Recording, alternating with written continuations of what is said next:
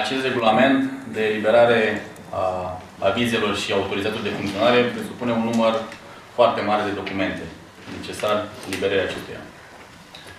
Pentru că debirocratizarea este un lucru necesar în administrația publică și consider că primăria Municipiului ar trebui să încheie uh, contracte de colaborare, protocoale cu celelalte instituții ale statului pentru toate celelalte documente necesare de informare necesare eliberării de autorizații și avize. Eu v-aș ruga să facem un prim pas și să eliminăm din documentele necesare eliberării autorizației sau avizului de funcționare, să eliminăm certificatul fiscal emis de primăria Brăila printr-o direcție din subordine, și anume Direcția Finanțelor Publice, document necesar primăriei Brăila, care să știe legat de o societate dacă are sau nu uh, restanțe la bugetul local.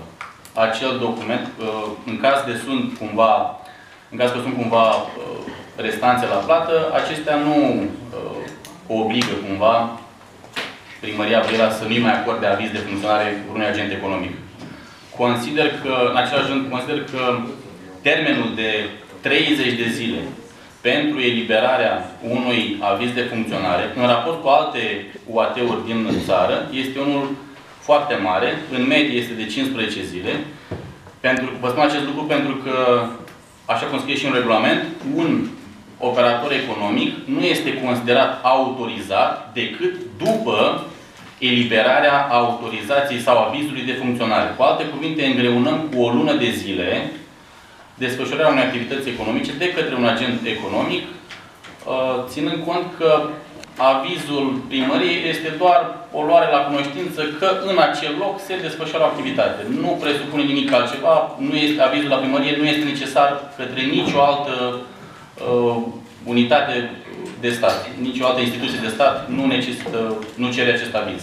Așadar, primul amendament este eliminarea solicitării certificatului fiscal eliberat de Primăria Brăila din documentația necesară eliberării avizului sau autorizației de funcționare. Iar al doilea meu amendament este diminuarea termenului de uh, eliberare a avizului sau autorizației de funcționare de la 30 de zile la 15 zile.